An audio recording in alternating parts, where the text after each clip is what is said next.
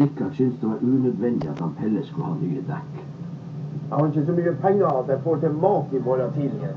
Ja, vi kan vel kjøpe mat og bensin for litt av de pengene som vi får i bot fra de som kjører for fort. Jeg blir aldri klok på det, Pelle.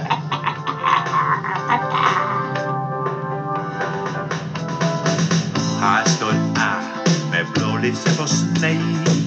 Hopp nu inn, så finner vi oss en vei.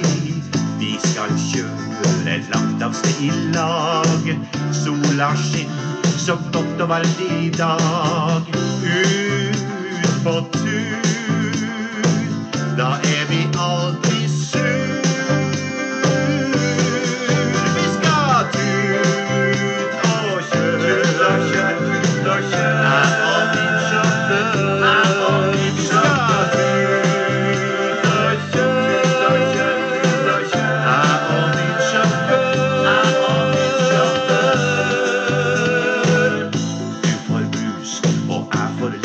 bensin. Vi skal kose oss opp så dagen den blir fin. Du er snill, og jeg er kjempekjekk. Jeg er så glad for mine nye dekk. Hipp, hipp, hipp, hipp, hurra! Jeg er så veldig glad.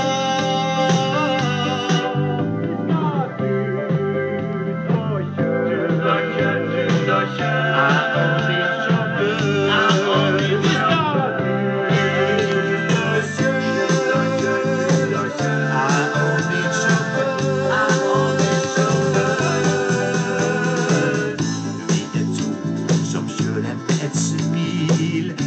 Var heldig som fikk meg som bil. Bakom rattet er din første plass. Frø du på, så